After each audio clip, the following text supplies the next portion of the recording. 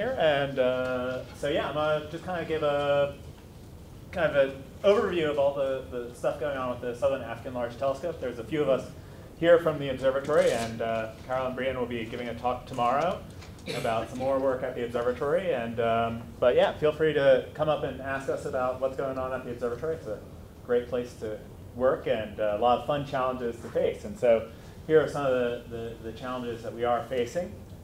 But we do uh, use Python a lot, especially with the, the SALT and with the data coming from SALT. And so, I mean, we basically do use it as a scripting language, like a, a lot of other people do, to actually kind of glue things together, and particularly for running our pipeline. Our pipeline is very important for actually uh, allowing an interface for the astronomers, so building graphical interfaces with the astronomers to allow them to look at the data, analyze the data, but also for monitoring our performance of the telescope. And so building things uh, which actually produce and record the outputs and the results. But, and obviously very important for us, for doing the data reductions, for getting rid of systematic errors in the data, for getting rid of, um, uh, for calibrating the data. This is really what we actually mainly use, uh, you know, this is really the heart of what we do. Um, especially for our uh, investigators who are all around the world, we do some basic processing so that they're ready to do the science they want to do with the data. And then once they have the data, for doing the data analysis. So once you have an observation, looking at what you're looking at, uh, you know, whether it's a star, a galaxy, a gas cloud in the universe, how do you actually translate that into some type of real understanding of, about the universe? Um, you know, obviously it's very important to actually then take all these things for how we monitor the performance of the telescope, for how we reduce the data, for what the science is coming out, for reporting the results. And then a very key and a very important thing is also finally uh, teaching and using our results in the development of what we're doing to actually educate the next generation of astronomers. This is very important, especially in South Africa. And so the project that we're actually using this with, and, and Python is the glue that is binding this all together, um, but what we're using it for is for the Southern African Telescope. And this is located, SALT is located in Sutherland, which is about four and a half hours northeast of Cape Town. And uh, it's a very uh, vast and remote area, which is great because it makes a very dark sky. But here's the plateau where the telescopes are located at. And this is the Southern African um, Astronomical Observatory uh, site in Sutherland. The small telescopes are in the background, but the, the main optical facility is the Southern African Large Telescope. It's a 10 meter uh, diameter telescope, and here it is in the front. If we take a closer look at SALT, uh, what you can actually see here, uh, the uh, primary mirror is 11 meters in diameter. It's the largest telescope in the southern hemisphere. It is 91 one meter segments uh, created in a spherical shape and basically acts as a giant light bucket. The idea is to collect as many photons as you can get from an astronomical source. These photons are then actually focused, uh, so the, the uh, primary mirror is actually set at a fixed angle, which is ideal for observing things like the Large Magellanic Cloud. This is a small galaxy which or orbits around our own galaxy, um, and uh, it was one of the most uh, nearest by galaxies. And the uh, um, orientation of SALT has been actually fixed to actually uh, optimized for observations of this object, but it is also able to observe a wide range of other objects uh, all across from near-Earth objects at, objects at the edge of the universe.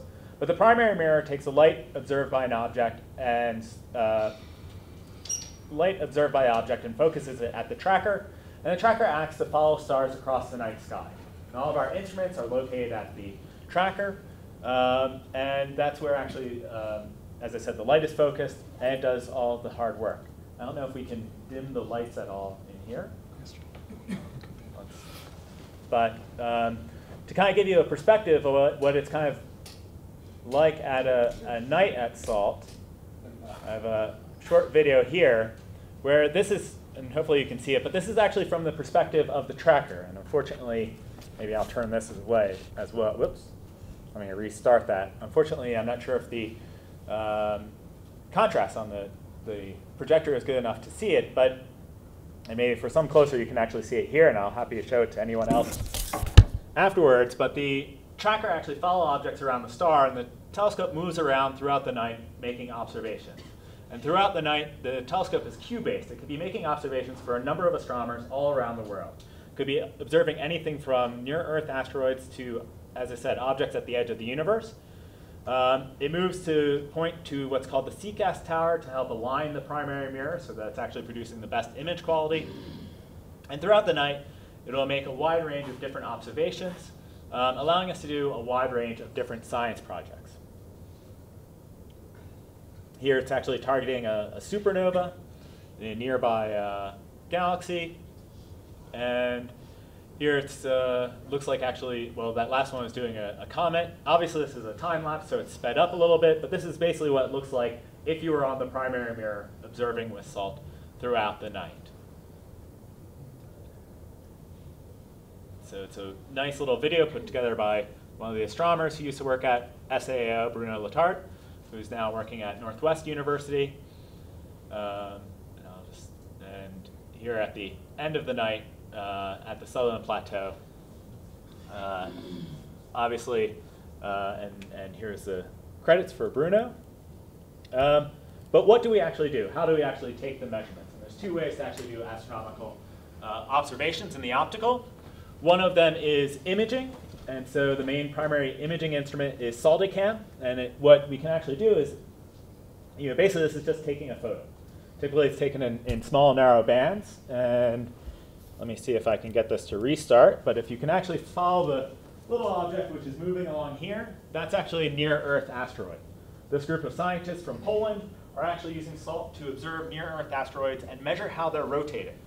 So they're actually looking for asteroids that will one day be actually good, uh, uh, um, good asteroids to actually land a science or a space mission on. Obviously, you want a slow rotating asteroid because it'll be a lot easier than a fast rotating one. The other main way, and this is really how SALT produces most of its science, is through spectroscopy.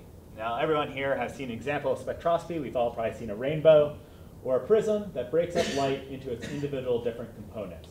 And that's basically what uh, the spectrographs on SALT do. They break up the light into the individual components so we can see from exactly what wavelength each, um, each photon of light is coming from.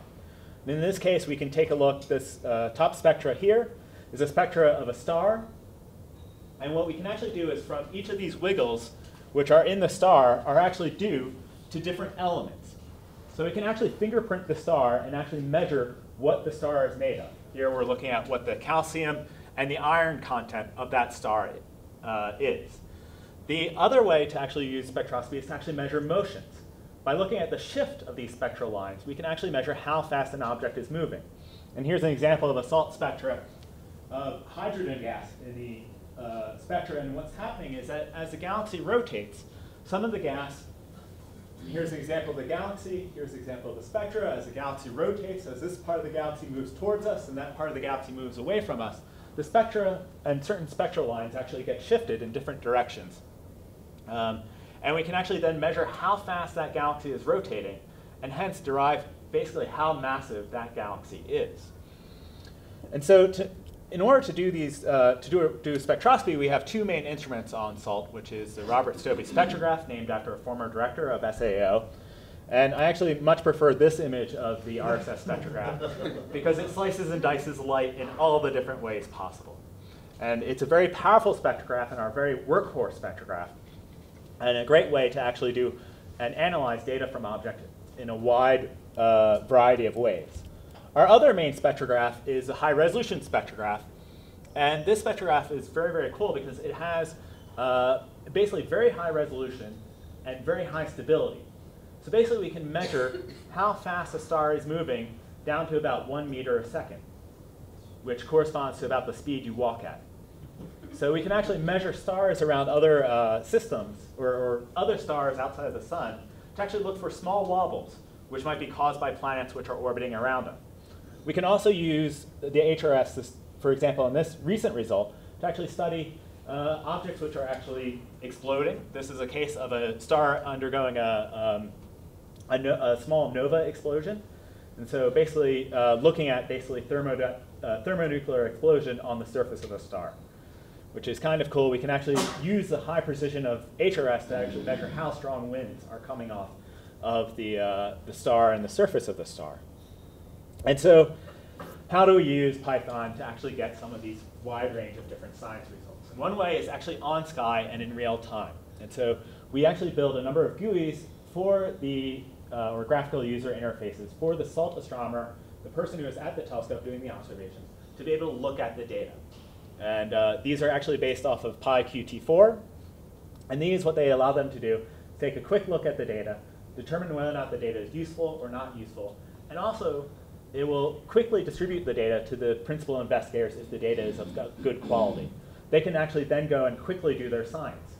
Um, some examples of very quick follow-up science done by SALT are supernova observations. In this case, um, Dan Milisavljevic, from, uh, who works in Dartmouth University, used SALT to actually study supernova. What he did was monitor, uh, basically would look for, uh, basically every day in the afternoon, Dan would email the telescope and say, there's this interesting supernova that just went off in this galaxy somewhere else. Uh, you know, you'd email him about 5 p.m.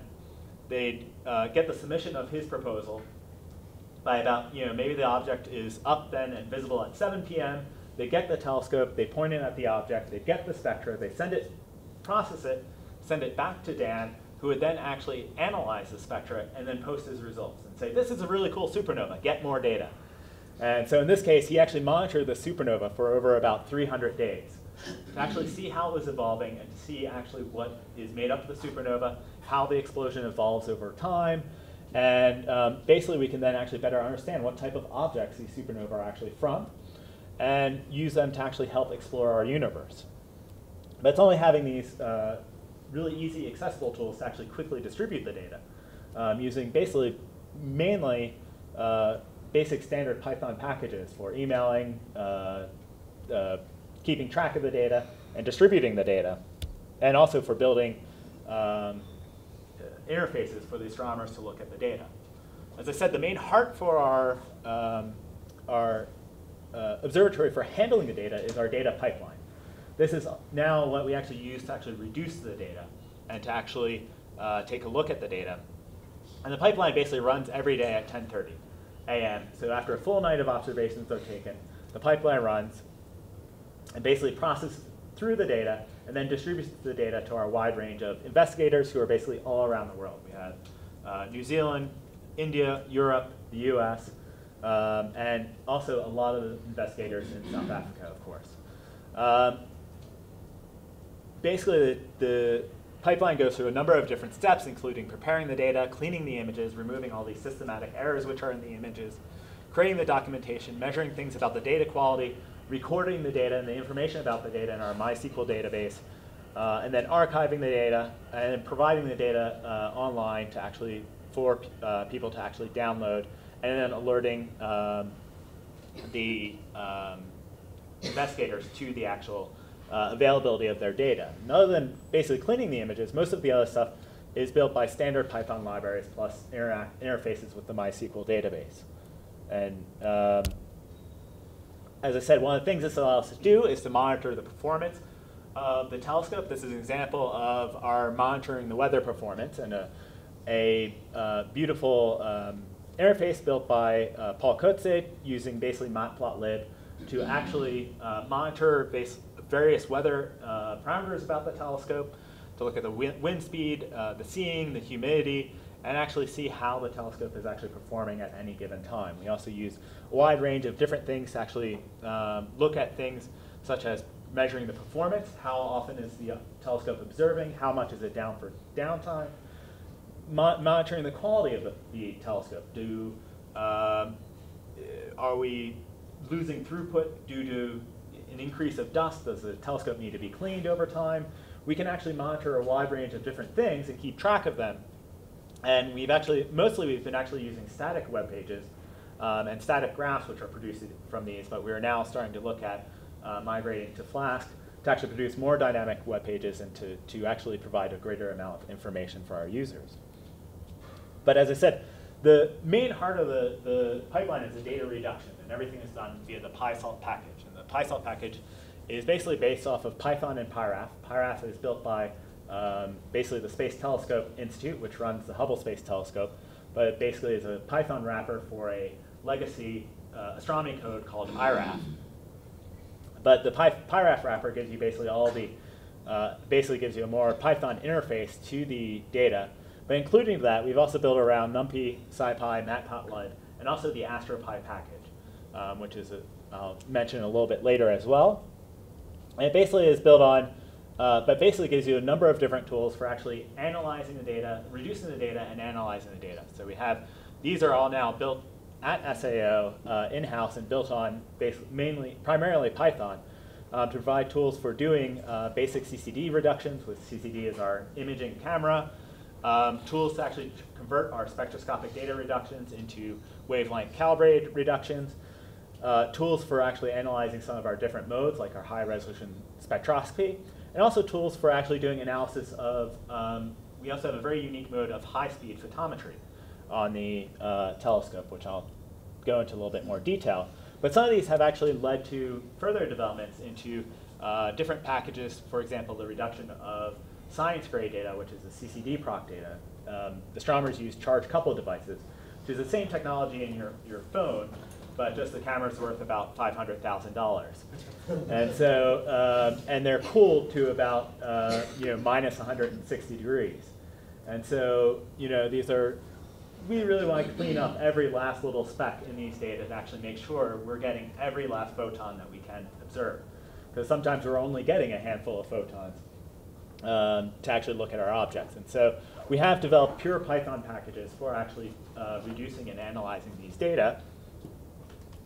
Um, in addition, we've uh, developed uh, different tools, once again, built on PyQt4 to actually do wavelength calibration. And the nice thing is that uh, the astronomy community has been growing more and more to actually develop and adopt uh, Python. One of the, the things I set up for uh, reducing this is a package to actually model spectrographs. And now uh, others are actually going on to adopt this model to actually use at their observatories. And so there is actually a very large community of astronomers using Python and sharing a lot of code, uh, which is actually very helpful. Um, and you know, once you actually reduce the data, we can do actually certain different types of uh, analysis and data, uh, different types of science. And this is an example of using the Robert Stobie spectrograph to actually do some analysis on galaxies which are at very high redshift. And so this is actually combining, uh, this is Lerothodi Leeuw at UNISA, who is combining data um, basically using lower redshift galaxies, which are actually causing higher redshift galaxies to be magnified. And so he's using galaxies which are relatively nearby to us. They're only about three or four billion light years away. Um, but he's using those to actually study galaxies which are 12 billion light years away.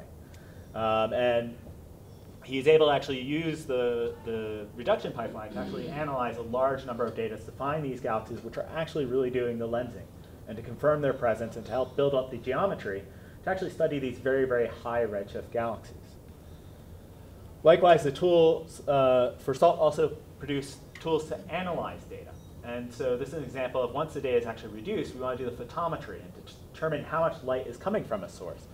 And this is, um, as I mentioned, the imaging camera actually has a high speed mode where it actually takes, uh, can take um, frames at basically a rate of about 10 hertz or about one frame every tenth of a second to actually study astronomical objects. And so even stars change, certain stars actually change on these timescales.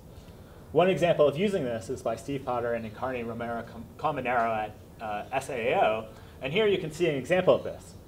Uh, if you watch the star over here, you should actually be able to see it get fainter and then get brighter. And what you're actually watching is another star which is actually being eclipsed by another star which is orbiting around it. And what we're actually doing, hopefully maybe I can, should put that on repeat, but you can actually watching another star which is being eclipsed uh, at, um, and what we're doing is actually measuring exactly when those eclipses happen. And what they did, they measured these eclipses, and the data from SALT are actually at the top and highlighted in red there. To actually measure these eclipses where they happen, they noticed that they drifted. And the likely cause is that you have these two stars which are orbiting around each other, but then you also have planets which are orbiting around those stars, and they're causing a drift in the orbit of the two planets. And so they actually were discovering a system which is like Tatooine, where you actually have two stars in the sky, which is uh, I don't know, I find that cool. So it's the opposite. I know. Yeah, I went to, I went to see the opposite impression of yeah, I know. Yeah, I, I, I did have a Star Wars picture in here, but I think I took it out. So, um, and so as I mentioned, there's a large community of astronomers who are using Python. And uh, right now, one of the biggest um, activities right now is the AstroPy package, which is actually basically built off of you know, Python, and then you have the NumPy libraries, uh, the SciPy libraries, and the scikit uh, libraries. And AstroPy is using and leveraging those libraries to actually develop tools for astronomers for uh, Python. Right now, there's over 80 uh, different astronomers who have been contributing to the package, um, including at observatories at SAO, at the Hubble Space Telescope, at Gemini Observatory, and uh, at basically institutes all around the world who are actually contributing to this package to help make it better and to actually make things useful. Basically, so we're also not all redoing the same thing. Some of the packages are actually um, uh, basic packages for things doing like coordinate systems in astronomy. Some of them are then actually more advanced for doing um, different cosmologies, so we can actually, you know, when we're actually checking our results and doing our science and looking at exactly how far away a star is, we can actually uh, have a built-in package. Some of them are for doing I.O. Most astronomy data comes in a format which is called FITS. Um, and so the package for reading and writing in that data uh, has been converted to a, a Python package in AstroPy. The advantage of this is that we then have the base AstroPy package, which is then developing into a whole uh, core of different packages. And here on the right is the affiliate packages of AstroPy. And you can see, for example, CCD-proc package. Uh, but there's also packages for graphing uh, astronomical data, um, like APLpy. Uh, there's also machine learning packages, uh, AstroML. Um, and a wide range of different packages which are now growing out of this AstroPy activity and coordinated effort between a large number of different astronomers to actually provide an open source and usable library for doing astronomy with, with uh, Python.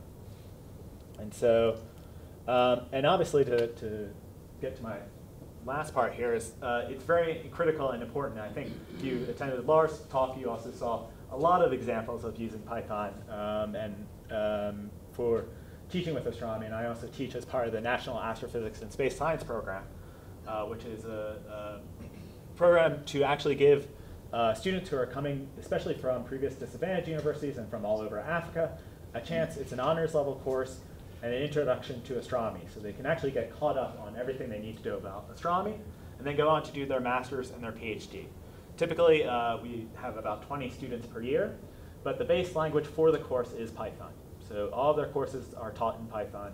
Um, and um, in addition to teaching at the NAS course, we also have a number of uh, online uh, tutorials and also a number of workshops, which we also use to actually introduce Python to the community, to actually use it to expand uh, the number of things that we're doing and to, to, you know, it is actually a great resource. Um, I don't need to go into too much detail about this because Laura did a fantastic, and, and uh, Toby, who uh, gave previous talks on IPython notebooks, but it is an incredible resource, uh, especially for teaching and for keeping track of what you're doing. And um, we've been setting this up for our CCD proc tutorial with uh, Matthew Craig at, in Minnesota. And then it's also a great tool for collaborating, for actually sharing data and what you're actually doing. Um, one thing I've actually recently done for my tutorial is I've actually had online questionnaires. Um, and I've been using actually uh, Skulpt, uh, which actually allows you, or an easy JavaScript um, interface for actually embedding uh, Python code into your websites. So um, it's a, a, nice combination of actually allowing to actually put code in so the student can type it in and then they can actually have a button for checking their work. And so it's, uh, you know, then you can actually publish what the result is so they can actually either, you know, graph it up or uh, take a look at actually what they're doing. And so, um, and it was actually quite easy to actually integrate something. Uh, there's Skulpt, and then there's also Trinket, which is a wrapper on top of Skulpt for actually doing uh, this type of stuff. But uh, I think that actually uh, sums up what uh, I was hoping to tell you about today.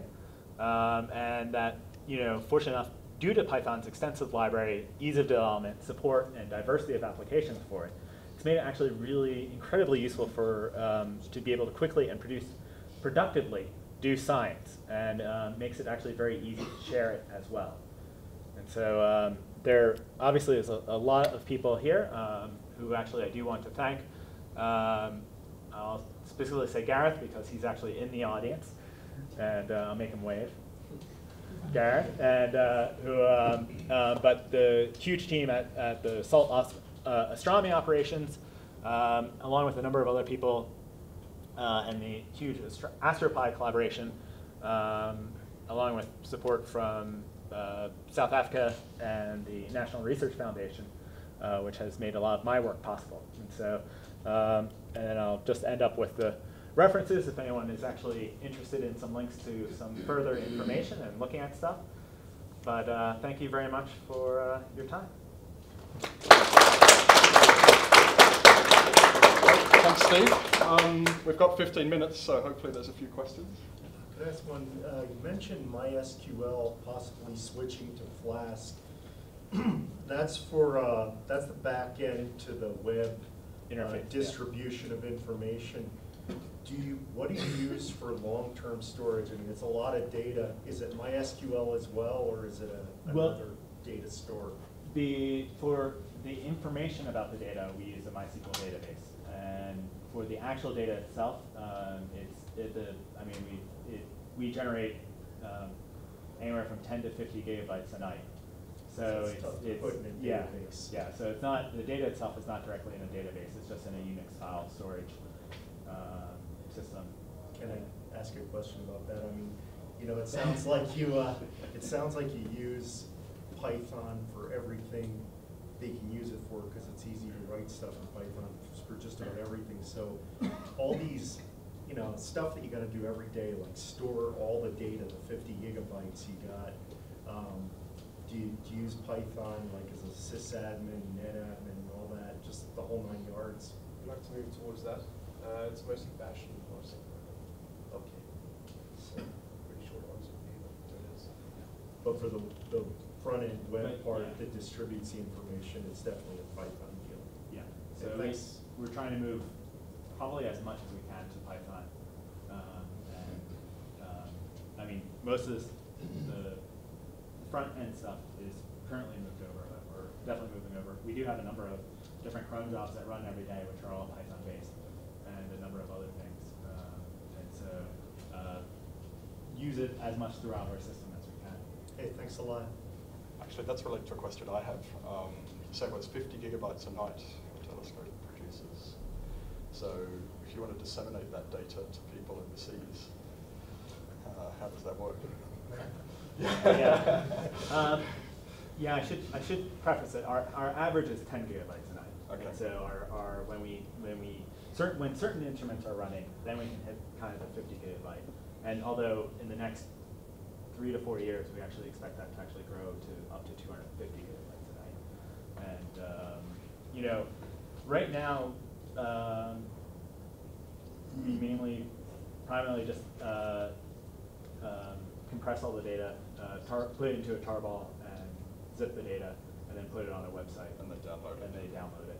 And basically, using wget seems to actually work That's why my nowadays. Net- That's why my Netflix is so slow. Yeah. yeah. Fortunate enough, we're on the, um, you know, the um, uh, research infrastructure, and then you know, so it gives us actually a pretty quick link to the um, east, the SEACOM, CCAP.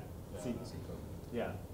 Yeah, Right, it's, yeah. uh, I work at SKA, and Yeah. it's, of course, it's a huge problem for us because we're generating terabytes a night. Yeah, And no, so it's- we it's can't- different can't scale. disseminate. SKA is a different scale problem. Yeah.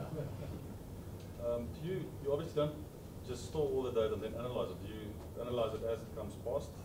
Yeah, so basically, the one thing we have at the telescope is some, and some tools actually analyze it in real time. So that uh, basically, you won't be able to do the final analysis because you need a, a number of calibration frames and, and other things to actually fully do it. But um, a lot of it you can actually do in get you can get about eighty percent of the way in real time, and so that's why we do have that set up at the telescope. So there is an option for the observer or for the investigators where they can actually select they'd like their data in real time, and they're basically emailed a final or a, a preliminary spectra, um, basically as it comes off the tel. You know, it's, it's from them from it coming off the telescope to them getting it is under a minute. I'm So- sorry, could I just jump in on that question? Was that that PyQt GUI slide you showed? with the Yeah. Spectrum? Yeah, Okay. so that's, that's, so the, the GUI and the interface is, is built on PyQt four, and then, um, but the, the, the backend for doing this is actually all in in Sure, Python. but that, that was the tool you were just talking about. Yeah, so that's a tool that we developed to, to do that. So, You mentioned you use IPython a lot for tutoring and stuff and collaboration. Is that, um, are you using multiple IPython instances together? Or are you enabling notebook mode? Uh, Do you ship the notebook file itself to someone else when you finish work on it? How, how do you actually go about doing that? I probably use it more in that mode. Um, I have to admit, I have not fully explored the, the full networking mode capabilities of it. Um, it's been more of the, once you've actually done something, Package the. the- package it up and, and send it over, and so that you're exchanging notebooks. Um, yeah, Do you guys have any kind of like almost manholes into any of your other systems where a notebook will integrate into another remote service and be like a real-time I think that inspection system? it's been kind of, if not a notebook, but something that was similar to that, is something we've often talked about, you know, wanting to have. And, and things like SKA will actually certainly need things where they're not gonna be able, you know, that you don't ship the data, but you, you ship the working on it. And we had previously investigated someone with looking at cloud, um, usage as well. Um, and it's just, uh, something that we haven't had enough time to, to fully investigate. So, but something kind of always been a, given more time, we'd love to look at it, sorry, I don't want to be a question pig, but can I be? Go next. You mentioned uh, really tight tolerances, like you can, you can detect this huge star moving at a meter, you know, whatever. Um, Obviously, that's a lot of floating point precision. You know, you got several layers of software in there from the raw uh, electrical engineering stuff for the five hundred thousand dollar camera and its processor, all the way up through uh, the scientific Python and the Python that you use to reduce the data. Um, Is all that stuff dealt with, you know, is that what you pay the five hundred thousand bucks in super cool for? Or do you actually do some of that phenomenal precision work along the way?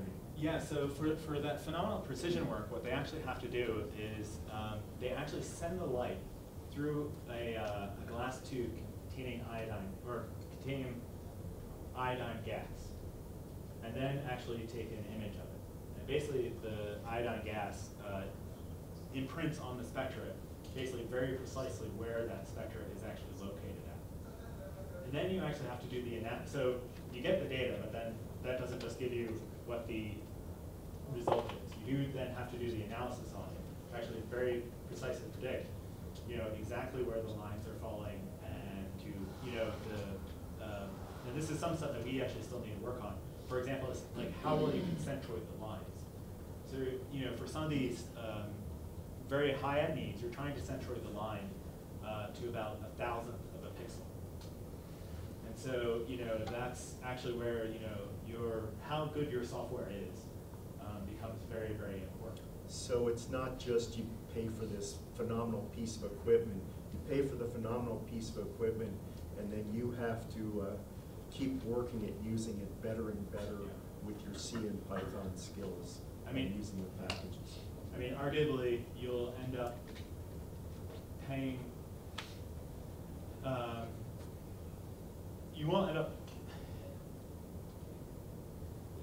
unfortunately, yeah, instruments aren't always budgeted with software in mind and how much they actually really need to be successful. Um, but the, um, budget for actually what is actually required is actually quite high. And so It's you a can have a team of astronomers who are actually, you know, if you have ten astronomers, you can think about how much each of those costs um, to actually produce very high quality scientific results. Astronomers are It's- I know. expensive, It's a lot of bright people working very hard. so Yeah, good. yeah. Yeah, it's one, Thanks. one last question. You're a really popular guy. so I am. you're having a time. Uh, it's actually related, but uh, I've got three questions. You've got, you've got, you've got uh, seven minutes. Uh, your uh, picture of the spectrograph earlier on, where you had calcium the, and the Yeah. ferrous metal. Um, with with that, um, the question really is, how good is your accuracy? Um, you've got the qualitative side and the quantitative side. So you've got your, you can, you Okay. can tell what's in it. Yeah. But can you tell how much and how accurate is it? Yeah, so um, the black, sorry, I didn't actually fully explain this. The black line here is the observations. The red is the model. That's our theoretical prediction Okay. for what the spectrum should So actually look like. standard black. Yeah, so you can see it's not obviously perfect, um, but it's, it, uh, probably our models, our stellar atmosphere models are probably getting um, very, very uh, accurate. What is Uh. What's, Yeah. what's the emission on that?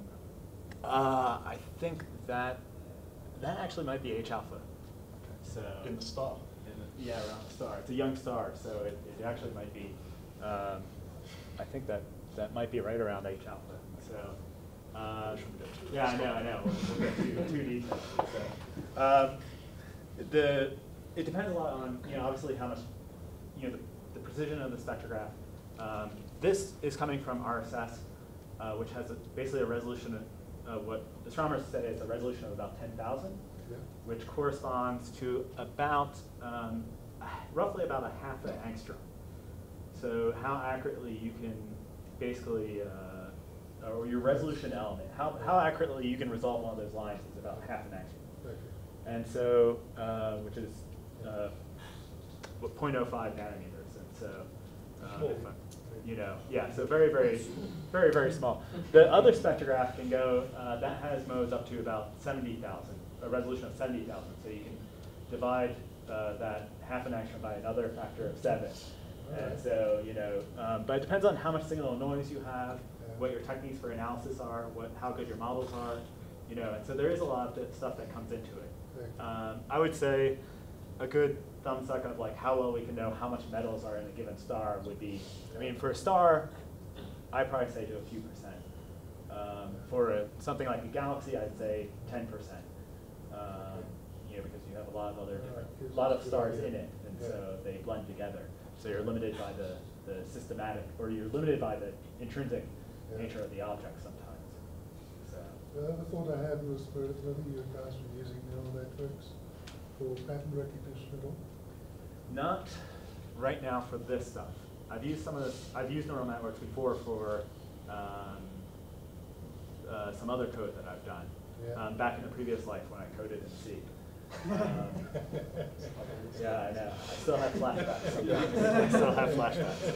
Um, but yeah, so um, there is uh, um, one of the people, one of the astronomers who's very much involved with machine learning and Python, uh, or one of the persons very much with machine learning and Python, the scikit-learn package, is an astronomer.